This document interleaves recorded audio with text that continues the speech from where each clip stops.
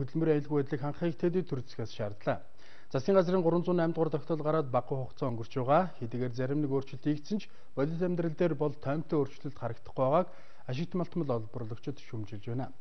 Уулын мухарт уурхайн гүнд тосолдож эндэж байгаа хүмүүсийн талаас илүү хувь нь гар аргаар ашигт малтмал олборлогчд байдаг гэсэн судалгааг хүртэлтэд хийсэн байна.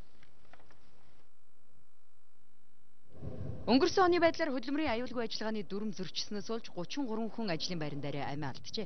Эдгээр хүмүүсийн 17 буюу талаас илүү хувь нь гар аргаар ашигт малтмал олборлогч хүмүүс байна.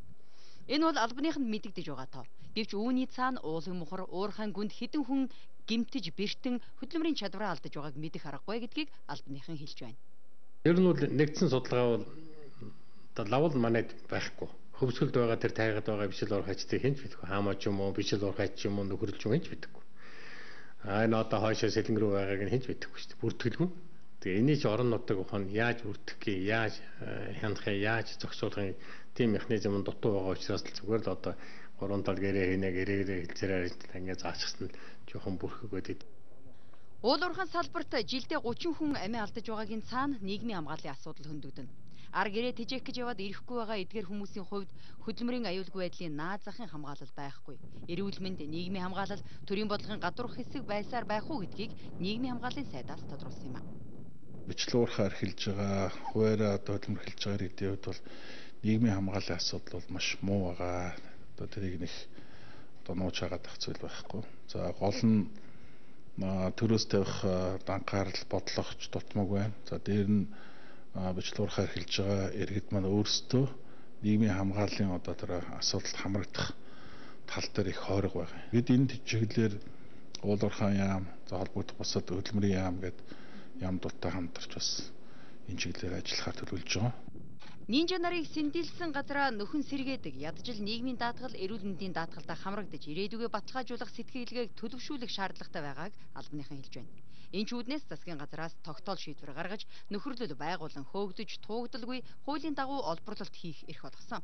Гэвч эрх зүйн дээрх зохицуулалтанд бас л эргэж харах, засч залруулах олон асуудал байгааг бичил уурхайчид хэлж байна. Жишээлх юм бол одоо компанитай гурвалсан гэрээ байгуулнаа л байгаа. Энэ компанитай гурвалсан гэрээ байгуулахад засаг дарга нэг гуйдаг, бичил ургачд нэг гуйдаг, компани гэдээдэг. Яагаад гэвэл нэгэнд Монгол улсын улсаас би зөвшөөрөл авсан юм чинь заавал одоо та нартай би аягтай холоо хувааж идэх ёстой юм уу гэж. Тэгэхээр энийг ингэх ёстой юм шиг байгаа.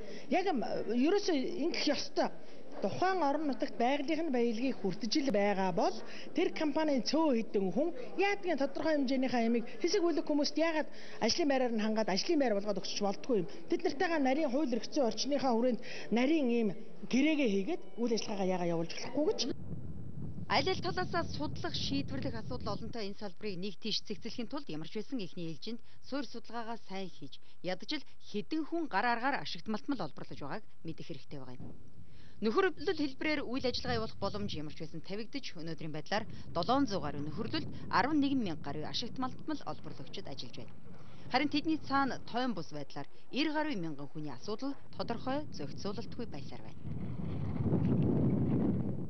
Гадаадын хөрөнгө оруулагчдын сонирхол буурч хөрөнгө оруулалтын хэмжээ эрс багассан энэ үед